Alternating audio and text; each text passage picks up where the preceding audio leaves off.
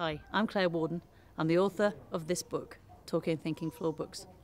It's a book that defined the approach that I developed 20 years ago when I first started teaching. In this book, you'll find everything you need to know about an approach called the Floorbooks. They're also called Big Book Planners. Some people are calling them play diaries. All sorts of names describe the same concept. These big Floorbooks are about children's voices. It's about how we listen to their ideas, their principles, their frameworks of understanding, so that we can weave them into our planning. This book will tell you how to create a floor book. It'll give you steps on creating a talking tub.